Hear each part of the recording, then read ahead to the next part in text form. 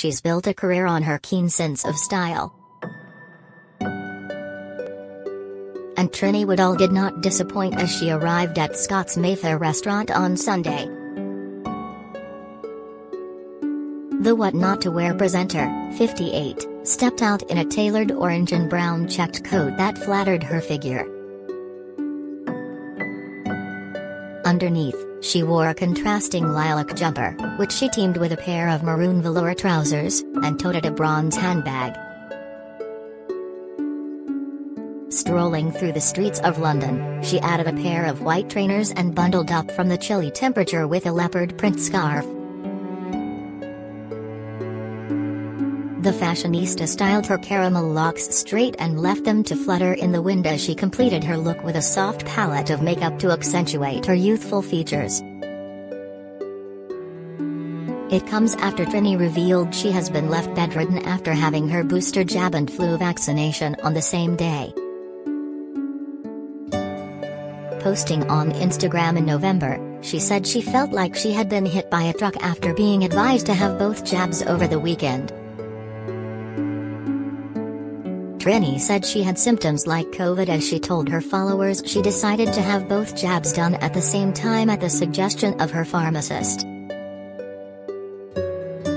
The 58-year-old beauty and style guru, who recently has been in New York to promote her cosmetics line, lay in bed makeup-free as she described her symptoms.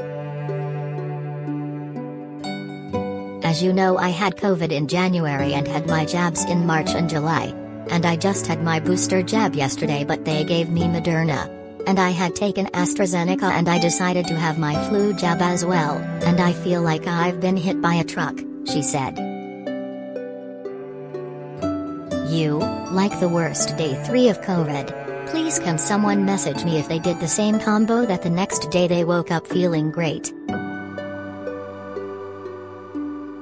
In January Trinny revealed she was recovering from COVID-19 after spending Christmas looking after loved ones who had the virus.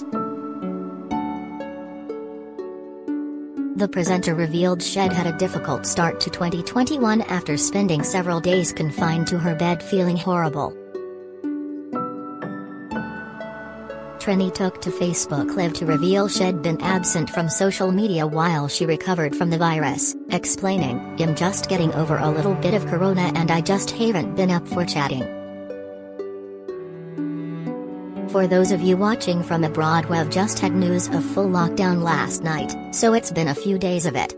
It made me think actually I want to start my January 1st in a couple of weeks that's where I'm at now.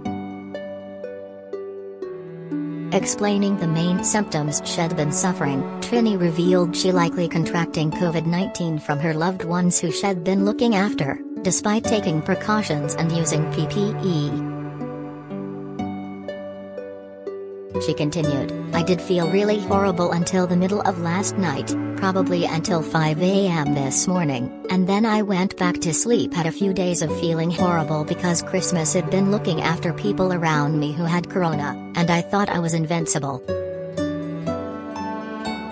I was really careful with them in the household, wearing gloves and protective clothing and then in the end I was just wearing the mask and stuff and then I got it too.